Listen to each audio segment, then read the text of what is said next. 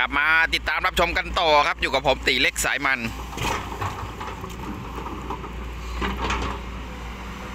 หน้างานของห้างหุ้นส่วนจำกัดฟ้าบรรดาลก่อสร้าง กับ 3 ขุนพลรถขุดนะครับซันนี่เอสวายสองหนึ่งห้าสี่ป๋าเจาะ มาแล้วนะครับป๋าเจาะมาแล้วลงลุยแล้ว ด้านหลังนู้นก็จะเป็นโกเบสเคสองร้อย ป๋าเปรม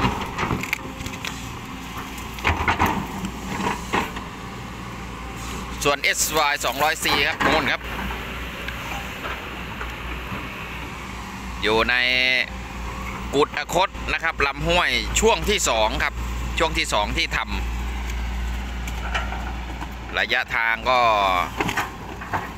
กิโลกว่าครับ กิโลกว่า แต่ว่าทีมงานนั้นทำเป็นช่วงๆครับ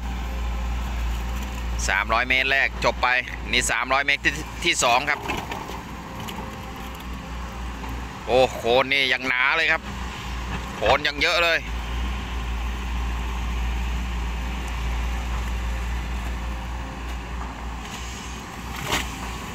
ถอยดินขึ้นฝั่งแล้วครับอย่างนี้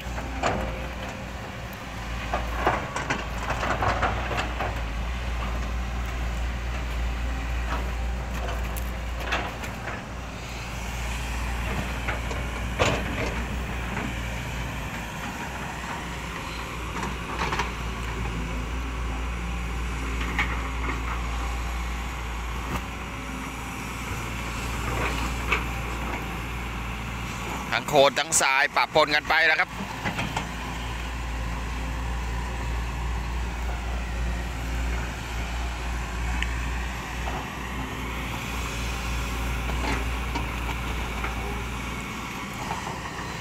เป็นงานของ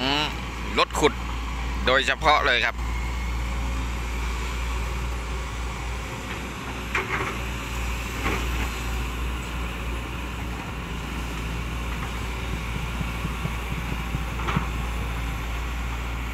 ว่ากันว่างานขุดลอกลำห้วยเนี่ยเป็นงานที่กินง่ายครับ กินง่าย ทอยดินขึ้น แต่งคันก็จบเลย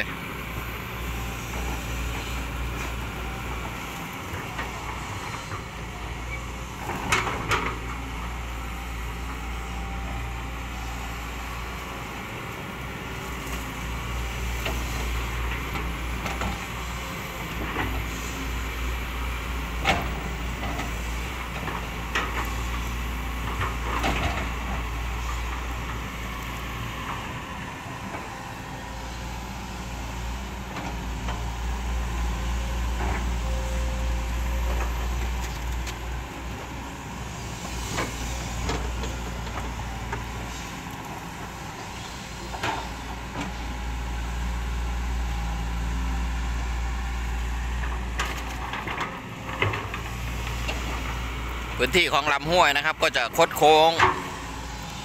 คดโค้งไปเรื่อยครับเนี่ยตรงนี้ก็จะเป็นโค้งแล้วก็โค้งไปนู่นละโค้งขวาไปนู่น เข้าโค้งไปก็ออกซ้ายไปเรื่อยโค้งซ้ายโค้งขวาอยู่นั่นนะครับ ช่วงนี้นี่ติดตั้งนี่จุดติดตั้งเครื่องสูบน้ำเนี่ยถอนกำลังเครื่องสูบน้ำแล้วครับ เหลือแต่ท่อพญานาคก็วางอยู่ตรงนี้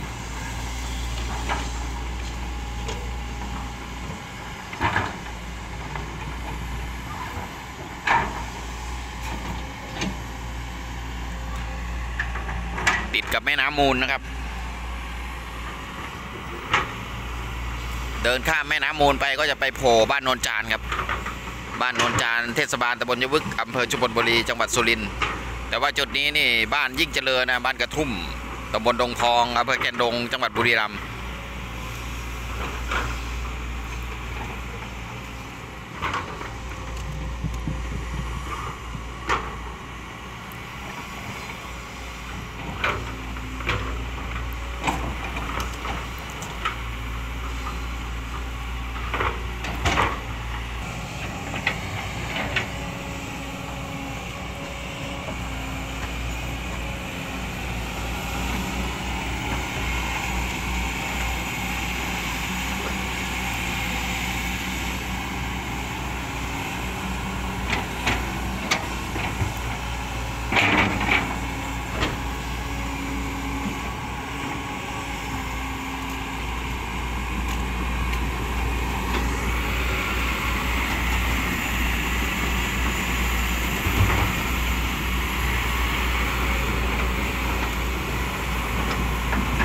เดินลุยมาแล้วป๋าเจาะ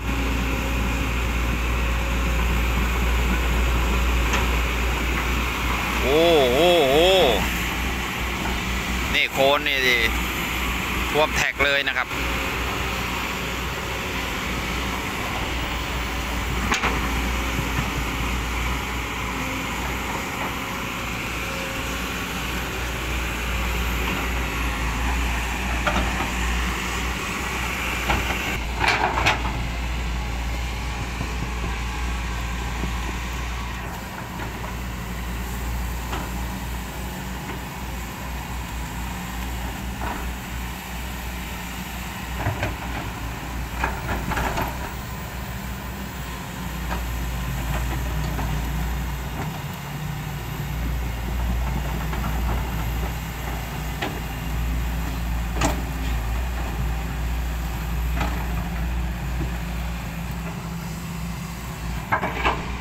ขยับไปนู่นแล้วป๋าเปรมป๋าเจาะปัดเลนไปป๋าเปรมตัดขึ้น เลนโคนครับสามขุนพลครับ ระดับอาจารย์ครับ ระดับอาจารย์ของฟ้าบดาลก่อสร้าง เรื่องลุยนี่ขอให้บอก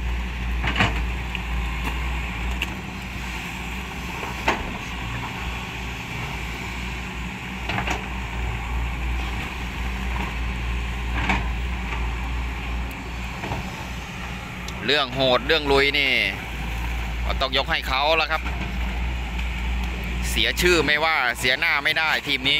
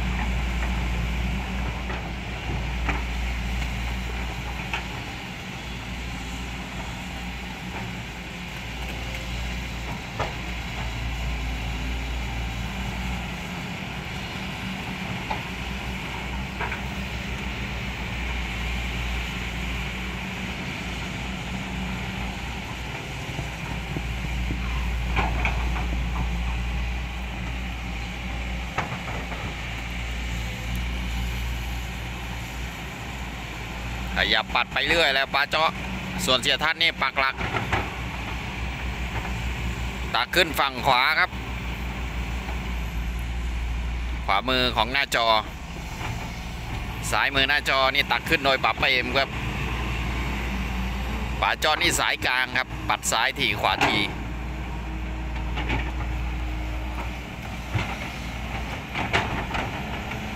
บรรยากาศช่วงนี้ก็ประมาณนี้แล้วครับ ดี๋ยวค่อยติดตามความคืบหน้ากันไปเรื่อย ๆ ครับสำหรับสายนักขุดฝาบันดาลก่อสร้างกับหน้างานแห่งนี้ครับ กุดอคตลำห้วยบ้านกระทุ่มยิ่งเจริญ